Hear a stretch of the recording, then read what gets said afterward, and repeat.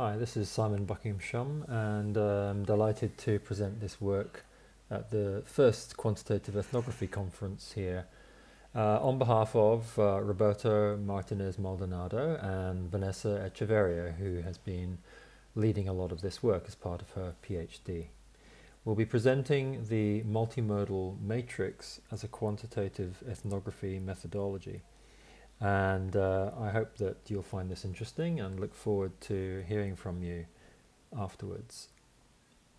Well, just to set the scene, the promise of big data, uh, many people have talked about this, of course, but um, I think about it as follows. Um, there are many societal systems out there now with digital infrastructure, and the big data revolution is um, to me most interesting because it allows us to monitor these complex societal systems in new ways by now allowing us to perform data analysis at, at, new kinds of speeds and scales, of course, in order to gain some kind of timely insight and action. And the idea that we can monitor complex social, human, and machine technical systems at scale is, is a very exciting one for us. Um, of course, here at the Quantitative Ethnography Conference, we're particularly interested in human activity systems, not just machines processing data and talking to other machines.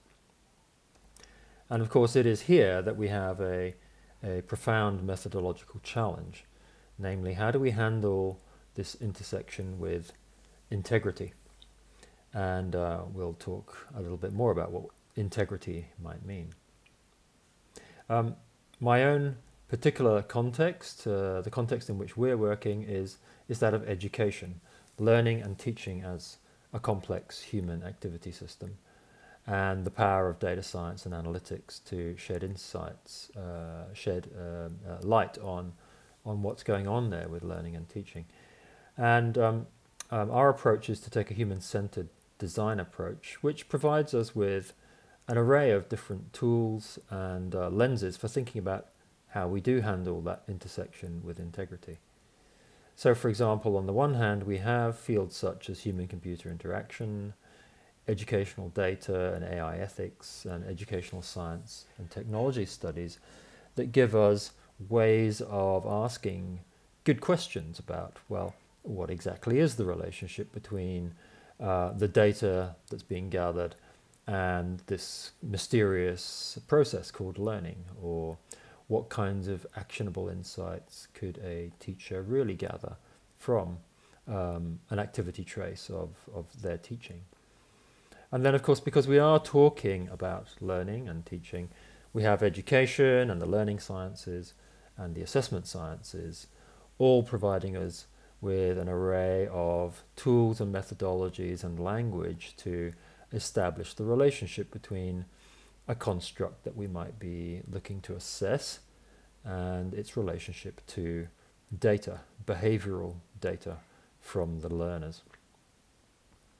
Now, these are very useful, but um, as I hope uh, to illustrate, I think that there's still a missing link in there about exactly how we, um, we scale the analysis of, of human activity data using quantitative techniques. And this, of course, is the QE uh, niche uh, potentially. Now, let's switch to thinking about the actual context that is driving our work.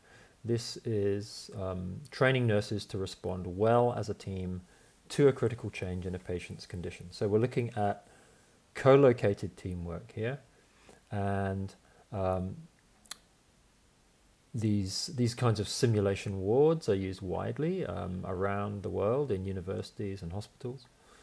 At UTS uh, here in Sydney, we might have five or six teams in action, as you can see from that top level video camera shot recording the ward. Um, but there is typically just one instructor, perhaps, who is coordinating the whole session. So, our intuition when we uh, started to understand how um, these these these uh, teaching wards operate was that there could be scope to augment the feedback to teachers and students by using the new emerging uh, array of multimodal sensors and ways of analyzing those. So this was this was the informal intuition. The question is, uh, well, is that really possible? So multimodal learning analytics, as it's called, allows us to basically instrument the room. The room can now become aware of what is going on inside it. There is a patient simulator, uh, a mannequin on the bed there, so the students can practice without actually damaging any real people. And that, depending on the resolution of that mannequin, it may be streaming all sorts of data off it, depending on uh, how it's uh, treated or measurements are taken. Um, the nurse, the, the trainee nurses are wearing localization badges, so we can track their movement around this space. We are recording audio, and they're also wearing wristbands, streaming different kinds of physiological data.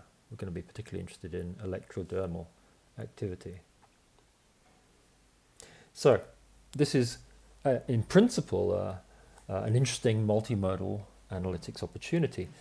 Um, however, simply generating a deluge of data begs the question well, how do we actually make sense of this? And could we even do this in close to real time in order to generate meaningful feedback to staff and students straight after a debrief, uh, straight after a simulation session in their debrief, for example. And in the context of this conference, we're going to be interested in, well, the contributions that quantitative ethnography can make, and perhaps how what we've been doing feeds back contributions to you as a wider community. And just to note, for reference, um, the um, the team that uh, uh, uh, David Shaffer leads has has already prototyped um, one tool for generating real time feedback for teachers um, using epistemic network analysis. Uh, they can they they they reported um, a dashboard that they uh, prototyped and evaluated for feeding back to teachers what was going on in um, an online learning uh, uh, environment. What we're trying to do is sort of by analogy the same thing using quantitative ethnography principles, but for co-located teamwork, face-to-face teamwork. And as far as we know, this is the first time that anybody tries has tried to do this. So there's um, our holy trinity of learning, analytics, and human-centered design techniques. And we're going to be using the colors here to talk about the respective contributions they make uh, when we're trying to bring diverse analytical techniques and data together. So from the learning and teaching, we're going to be drawing from the literature in CSCL and um, um, the insights we get from assessment science into how one designs um, an assessment tool We'll also be drawing from human-centered design techniques, which uh, are, offer us another array of tools for understanding the activity um, system. Observations of the simulations as they are currently run, interviews with the expert educators about what they believe to be the biggest challenges, as well as running co-design sessions with educators and students to help give them a voice in shaping the design. So we used co-design techniques, as mentioned, to try and elicit the perspectives that students and educators have. They know nothing about multimodal data and analytics, but they, they certainly can speak about their experience as teachers and as students. So we used co-design techniques such as teacher superpowers, where we, we asked teachers to imagine they had superpowers that would allow them to uh, give better feedback to students. What exactly would they like to know and what would they say to them? We worked with students as well, um, asking them to uh, draw the journeys that they went on when they went through a simulation exercise. And these generate all sorts of artifacts which we've described elsewhere. Um, but the, the, the, key point is that these co-design techniques allow us to uh, not only understand the current human activity system, but also to envisage a potential future system because of course we are trying to design uh, an artifact which will change the nature of the activity in the future if it's successful. Another example of understanding human activity system is we start with you know, a very data science approach where we can track the location, each of those data points shown on the left there of the nurses. Uh, then we move to a higher order abstraction where we temporally segment into three phases, T1, 2, and 3, and generate heat maps which, which um, you know, aggregate uh, and give us a, a visual indicator of how much time students spent in different locations. But the key insight was when we were showing these to the educators and learning that um, really there are five meaningful zones in this kind of simulation. Of course, in other kinds of simulations, the zones might be different. So this is highly contextual to the activity. And those are shown in summary there on the, on the figure. Depending on where the student is, we're really interested in whether they're in one of those five zones. We also draw from uh, CSCL research, uh, looking at um, the uh, uh, how can we describe um, co-located collaboration.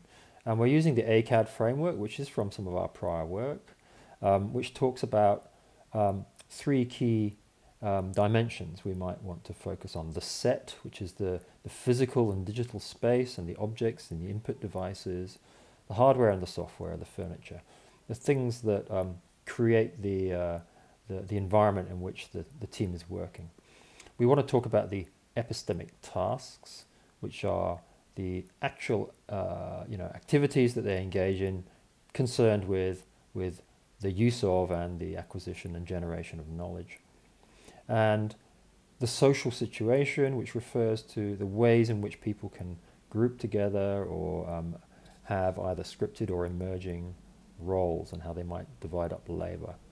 Uh, to these three dimensions, we also added affective responses because the literature on healthcare simulation research and medical training points to the importance of these emotional uh, affective responses um, in, in students' learning. So we're pulling in from the blue, the orange, and the pink colors here, and we want to bring these all together. Uh, we want to move from multimodal log data to higher order constructs, which we might think of as, as codes, which are going to serve as proxies to giving meaningful feedback on codes with a big C, such as delivering patient-centered care. That is a concept that, uh, uh, that the, the educators want the students to grasp. In fact, that is a curriculum outcome. Patient-centered care and effective teamwork. Um, those are, those are, that's language that we can use to give meaningful feedback. The theoretical constructs break down from the ACAD framework into the PISA uh, acronym there, physical, epistemic, social, and affective, and we can decompose those constructs into a number of subconstructs, all of which drive um, uh, the higher order constructs. And then finally, we get down to the multimodal data. Uh, and this is where we can actually detect behaviors uh, from the digital data. Um, now, the question is, how does that all come together into an integrated database? So we're going to group our data into the four categories from our theoretical perspective. Um, as you will be familiar with from any kind of uh, you know data uh, matrix representation and in particular the work on quantitative ethnography, we're interested in time because it's about activity unfolding under uh, over time. And here we're going to segment time by the second because we're interested in uh, quite fine-grained um, analysis. We can, however, group time into more meaningful higher order constructs. In this case, phase 1 and 2 before and after a critical patient incident might be defined. Then we have our data columns. And we will drill into those in a moment, but these are coming from multi multimodal observations of what was going on in the activity. And finally, we can populate our matrix with a mix of numerical and categorical data. And um, each line is giving us a description within that period of what all the different nurses, the RNs, 1, 2, etc., were doing, uh, and, uh, uh, and, uh, and what kinds of data they were streaming. And we'll drill down into those column types a little further now. So for example, our understanding that there were five key zones allows us to define registered nurses 1, 2, 3, and 4, however many nurses were in the team, as to which zone they were in, with a 1 or a 0. And that can be done automatically from machine coding of the positional data. The raw accelerometer data from the wristbands is classified again into low, medium, and high categories this time, um, as shown in that column there, um, which is uh, our categories based on the nursing literature. The electrodermal traces, uh, we want to really just focus on particular phenomena such as peaks. And peaks that are also associated with low physical activity because that suggests that something emotional or cognitive is going on in the brain. And that can be coded by machine as well by identifying those peaks.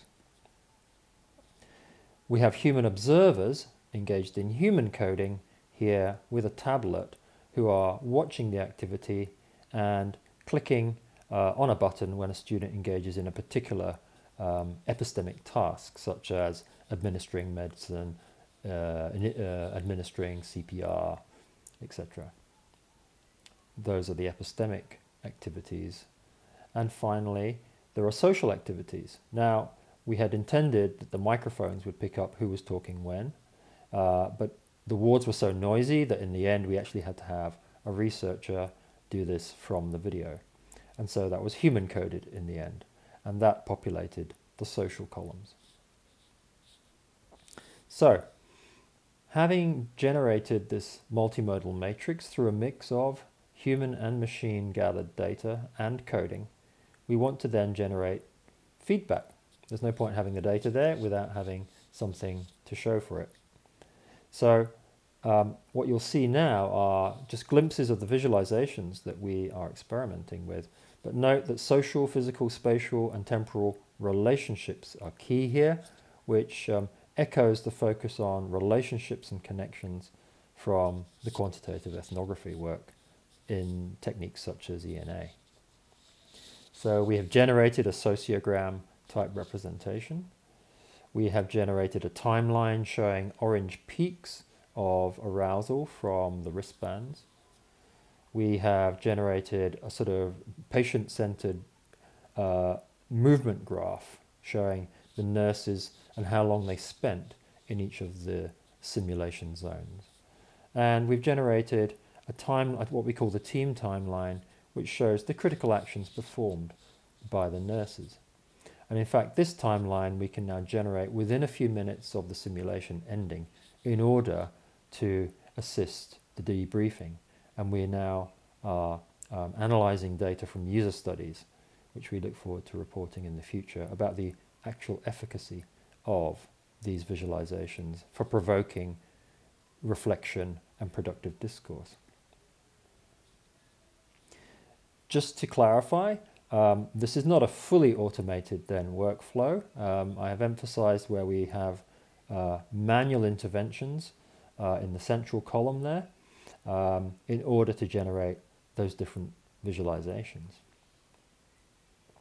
So, just to wrap up, we started by asking how do we make this intersection one we can handle with integrity and I've tried to indicate how the multimodal matrix is uh, allowing us to uh, create uh, mappings that are principled, drawing on theory and consultation with experts and observation and co-design techniques from HCI in order to understand that human activity system and what meaningful proxies might be uh, when we are looking at low-level data.